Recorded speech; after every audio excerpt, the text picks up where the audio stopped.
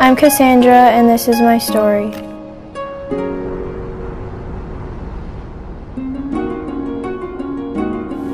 It was a typical Friday night with my friends, and we were heading out to the movies.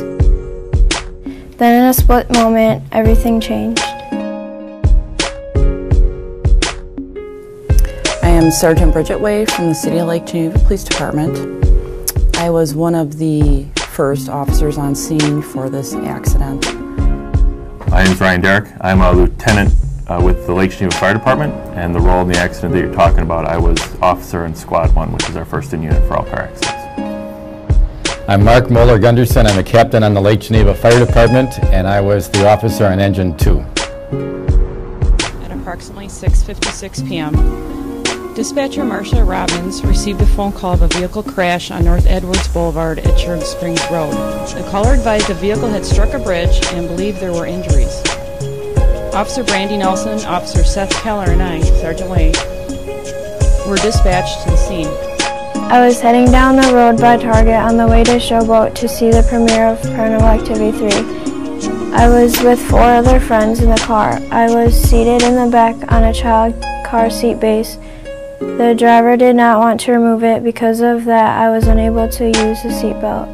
She was going 60 miles down a hill, and she was like swerving. And we hit the curb on our side and bounced. You know, this accident really sticks out in my mind as probably one of the worst accidents in the 13 years that I've been on the department that we responded to.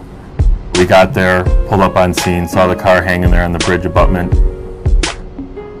Hers was horrific. I mean, to be honest, it was it was horrific. And when you pull up and you don't know if anybody's in the vehicle, and you realize one of your firefighters is holding their hand. I was uh, assigned to the the woman who was in the car, so I reached in through the back window of the passenger side door uh, to, to provide care for her.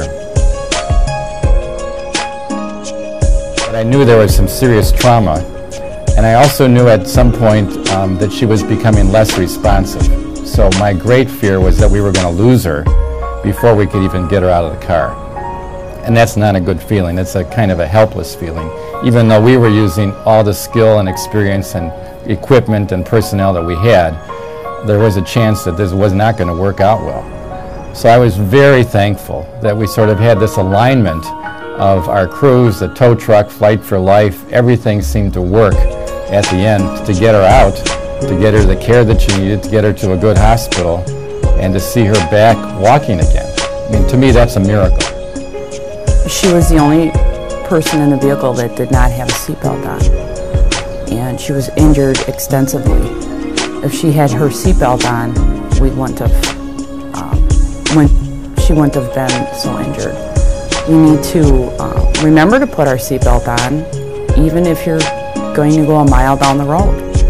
It saves lives, and it's proven to save lives, and also um, less injury if you are involved in a vehicle accident.